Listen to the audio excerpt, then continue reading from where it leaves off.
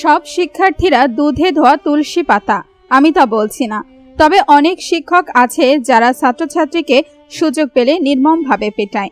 শিক্ষার্থীকে মারধরের ঘটনায় বেলাল হোসেন নামের প্রাথমিক বিদ্যালয়ের এক শিক্ষককে অবরুদ্ধ করেছে এলাকাবাসী। খবর পেয়ে পুলিশ এসে তাকে উদ্ধার করে। কুমিল্লার দেবিতার উপজেলার এলাহাবাদ পূর্ব সরকারি প্রাথমিক বিদ্যালয়ে এই ঘটনা ঘটে।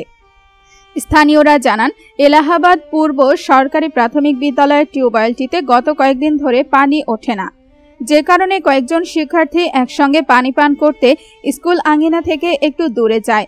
পরে তারা ক্লাসে ফিরলে বেধড়ক মারধর করেন সহকারী শিক্ষক বেলাল হোসেন।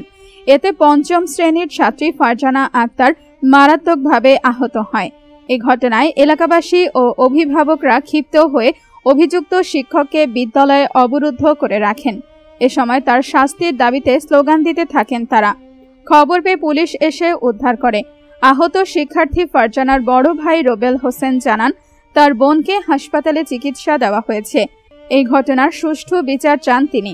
এ বিষয়ে জানতে অভিযুক্ত শিক্ষক বেলাল হোসেনকে একাধিকবার কল করলে তার ব্যবহৃত ফোনটি বন্ধ পাওয়া যায়।